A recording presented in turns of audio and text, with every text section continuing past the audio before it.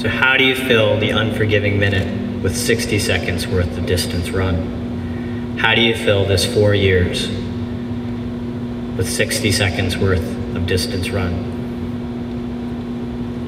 And when you're asked, what do we do now, sir or ma'am? How do you make sure you have the right answer?